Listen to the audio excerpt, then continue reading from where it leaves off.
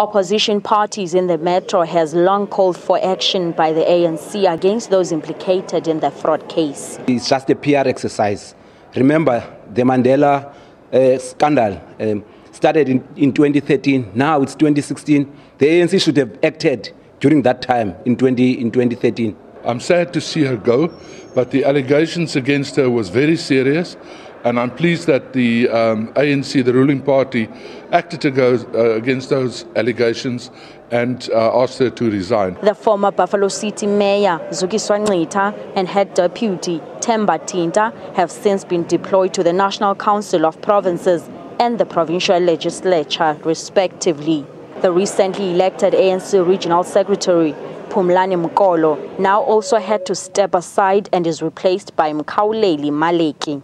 To us, this is a graceful way of giving confidence to the public and also to ensure that when there are mistakes and some members uh, err in their own approach on matters, there is an action that an organization can still use in order to regain the strength and the confidence of public. The ANC says more cases are still to be brought to the attention of the Integrity Committee. Busisiwe Jamsana, SABC News, East London.